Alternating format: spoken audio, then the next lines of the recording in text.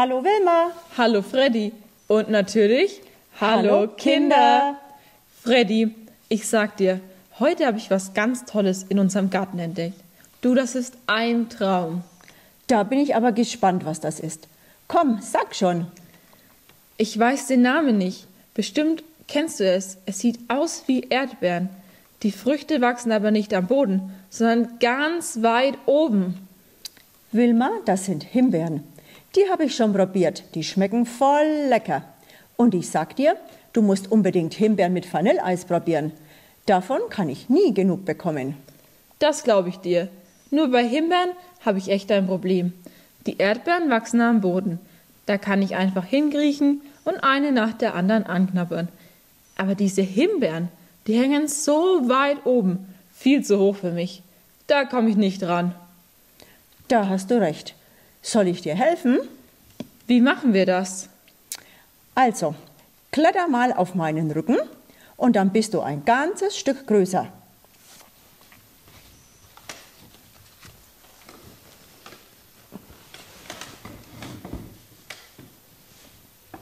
Hm, lecker. Soll ich dir auch welche mitbringen? Nee, gerade nicht. Freddy, danke, dass du mir geholfen hast. Du siehst halt immer, wenn ich Hilfe brauche. Und dann hilfst du mir. Ja, Freunde helfen sich doch gern. Gut, dass wir Freunde sind. Da fällt mir ein, Jesus erzählt in der Bibel eine Geschichte. Da braucht einer Hilfe und die Freunde gehen einfach vorbei. Dass jemand so etwas macht, das kann ich mir gar nicht vorstellen. Die Geschichte will ich hören. Herzlich willkommen heute zum Kindergottesdienst. Um zu erraten, um was es heute in unserer Geschichte geht, wollen wir zunächst mal mit unseren Händen unter der Decke fühlen. Da liegen verschiedene Gegenstände. Ich zum Beispiel habe gerade was ganz Weiches in der Hand. Ich habe irgendwas Dreckiges, was ein bisschen hart ist. Also ich habe irgendwie was Rundes und das ist eher flach, also das fühlt sich jetzt nicht so dick an. Und dann habe ich da noch irgendwie so ein bisschen weiches, teilweise weich und ein bisschen hart. Und ich habe noch was, das ist ziemlich rund. Und an manchen Stellen ist es nicht so rau, aber an manchen Stellen kann man sich stark dran kratzen. Okay, Alicia, du kannst mal den ersten Gegenstand rausholen, dann schauen wir uns mal an, was ihr erfüllt habt. Holzstecken. Ich weiß nicht, was der bedeutet. Ich habe eine Goldmünze. Und ich habe ein Tuch. Weiß.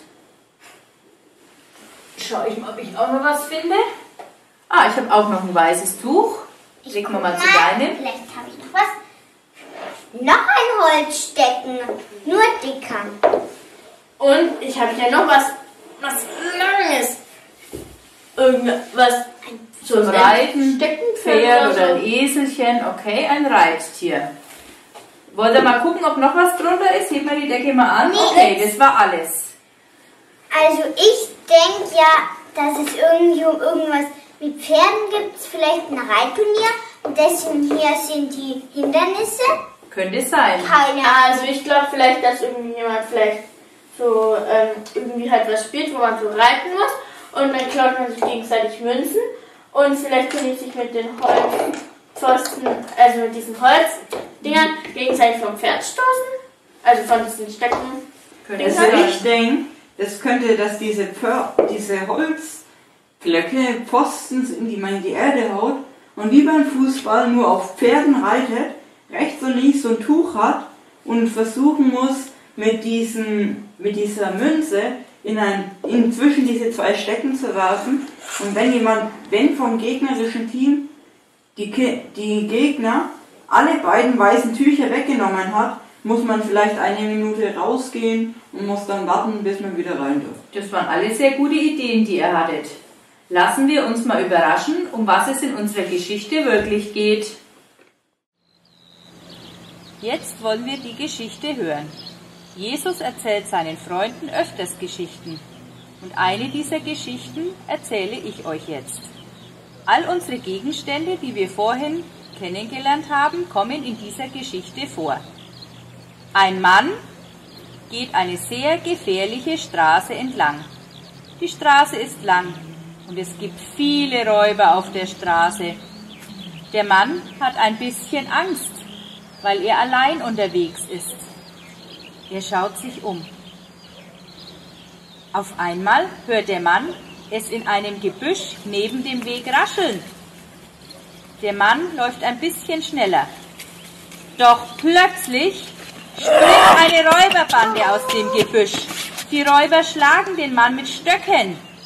Der Mann ist verletzt und blutet. Er fällt auf den Boden. Er kann nicht mehr aufstehen. Die Räuber stehlen sein ganzes Geld und sogar seine Kleidung. Dann lassen die Räuber den verletzten Mann einfach am Straßenrand liegen und rennen weg. Sie kümmern sich nicht mehr um ihn. Das ist ganz schön gemein von den Räubern. Der arme Mann liegt da und ihm tut alles weh.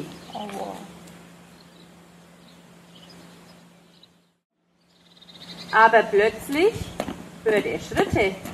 Wer kommt denn da? Vielleicht jemand, der ihm helfen kann? An den schönen Kleidern erkennt der Mann, dass es ein Priester ist, der da vorbeikommt. Ein Priester ist ein Mann, der an Gott glaubt und ihm im Tempel dient. Der Priester wird ihm bestimmt helfen. Oh nein, der Priester hilft dem armen Mann nicht. Er tut so, als ob er ihn nicht sieht und geht einfach weiter. Vielleicht hat er Angst, dass er sich schmutzig macht. Das war nicht nett von dem Priester. Jetzt hat der verletzte Mann noch mehr Angst. Kurz darauf kommt noch jemand vorbei er will zur Arbeit und hat es sehr eilig. Auch er hilft dem Verletzten nicht. Wer soll ihm jetzt noch helfen? Aber da hinten kommt noch jemand. Je näher die Person kommt, desto besser kann der verletzte Mann sie sehen. Es ist ein Samariter. Die meisten dachten damals, Samariter, das sind komische Menschen. Die beten anders als wir. Ob der Samariter wohl anhalten wird und dem verletzten Mann helfen? Der Samariter bleibt tatsächlich stehen. Der verletzte Mann denkt jetzt, oh weh, der wird mir bestimmt nicht helfen, der will mich vielleicht auch noch schlagen. Aber das will der Samariter nicht. Er hat Mitleid mit dem verletzten Mann. Er hat in seinem Rucksack etwas gefunden. Verbandszeug. Der Samariter hilft dem verletzten Mann. Er nimmt das Verbandszeug und wickelt es um die Wunden des verletzten Mannes.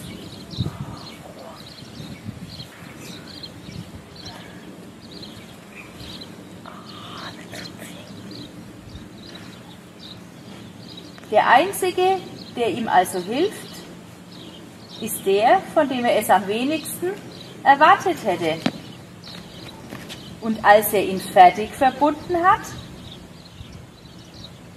lässt der Samariter den verletzten Mann nicht einfach liegen, sondern er verpackt seine Sachen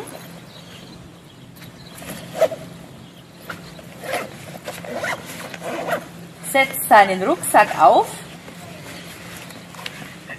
und hilft dem verletzten Mann auf.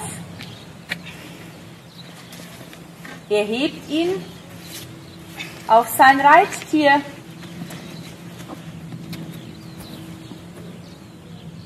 Gemeinsam ziehen sie los.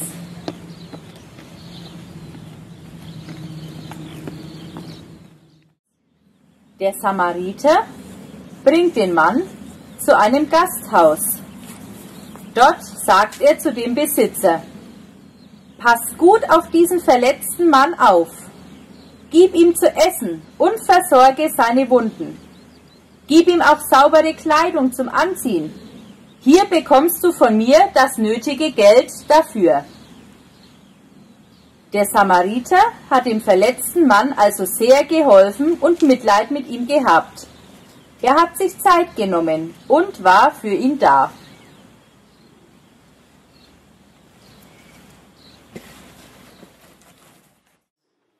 In unserer Geschichte heute haben wir also erfahren, dass der, von dem er es am wenigsten gedacht hätte, der war, der geholfen hat.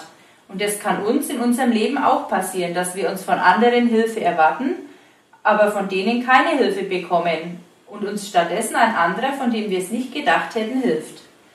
Zum Schluss möchte ich noch ein kurzes Gebet mit euch sprechen.